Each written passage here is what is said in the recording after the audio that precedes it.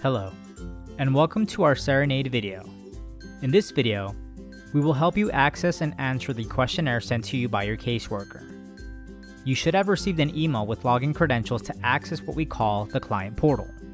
Please locate that email which will take you to the site and input those login credentials. You are now inside the client portal. You will immediately see items in your inbox. Let us click on it. You will now see a list of questionnaires to choose from. Let us go into one by clicking on the Edit button to the left. You are now inside the questionnaire. To answer the questions, simply click on the editable boxes and input your answer. You will go one by one answering the questions as best as you can. Let us now focus on the black toolbar up top with different functions you can apply. The first button is the Save button. This button allows you to save and come back at any time to finish the questionnaire. Once completing the questionnaire, you will go to the next button, which is the Submit to Caseworker button.